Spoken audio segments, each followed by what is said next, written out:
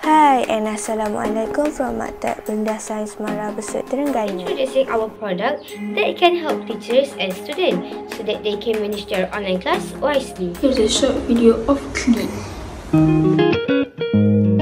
Cleat is one of new innovative teaching and learning system.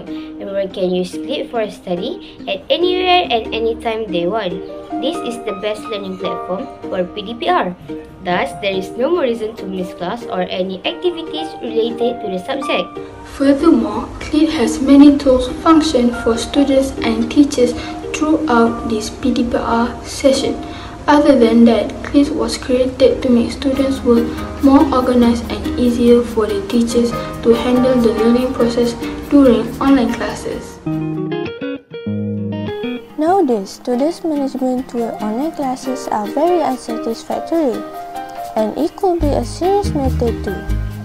It can be a problem to teachers when they are having difficulty in tracing and monitoring students' work, while the students can have difficulty for understanding what the teachers are teaching.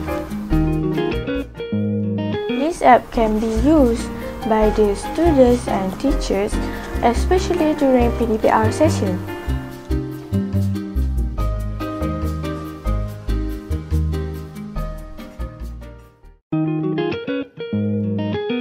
First and foremost, the CLEAT is made for teachers and students. Teachers can monitor student progress, including submission homework in one platform. For students, these apps make their work more interactive and can reduce for not doing or assigning the task given. We have five good things about CLEAT. So now, let's talk about the innovation.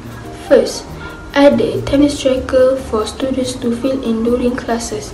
Two, notes so that students can easily write their homework and also take them after finishing it. Let's move on to the next innovation. Google Meet also was added for students and teachers into this app. So it makes user more easier to join Meet by adding the code given by the teachers only in one platform. Hence, this app requires the YouTube for all students to study if they're not understanding what have they learned and also as reference for them to improve their knowledge. Last but not least, the quiz part. The quiz part was added too because we want to help students and others to improve their knowledge. Users can play quiz after class if they still can't understand the subtopic that have learned.